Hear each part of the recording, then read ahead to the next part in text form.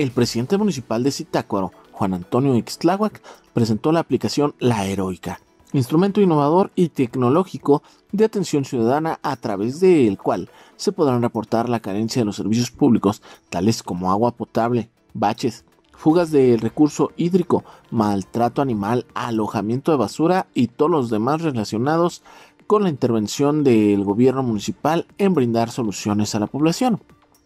Con esta aplicación, Zitácuaro se convierte en el primer municipio de Michoacán en contar con este tipo de instrumentos que facilitan y agilitan los trámites del actual gobierno de soluciones.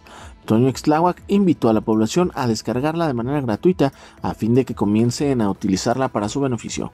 Informó para Red 113 Javier Magaña.